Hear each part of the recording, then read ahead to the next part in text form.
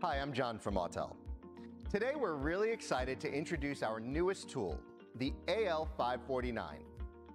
For many years, professional technicians and DIYers alike have trusted our AutoLink line of tools to get the job done both easily and affordably.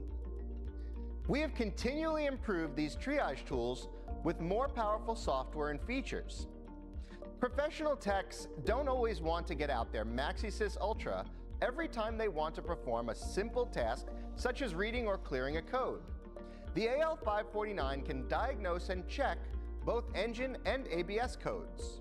It can also provide a description of the codes and clear them as needed. Checking drive monitors is easy using the tool's IM readiness feature. You don't need to take the shop's primary scan tool out of action when you're out on a road test.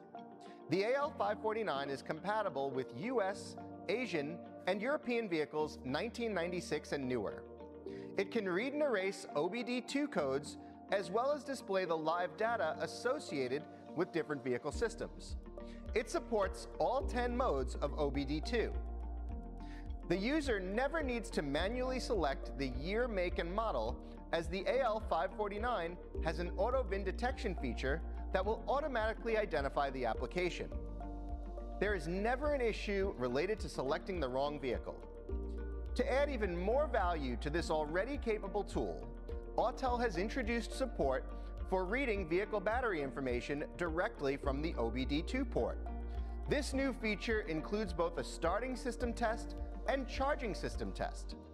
I'll show you how easy it is to perform a vehicle scan with the AL549. Let's plug into the diagnostic port of our 2023 Hyundai Tucson.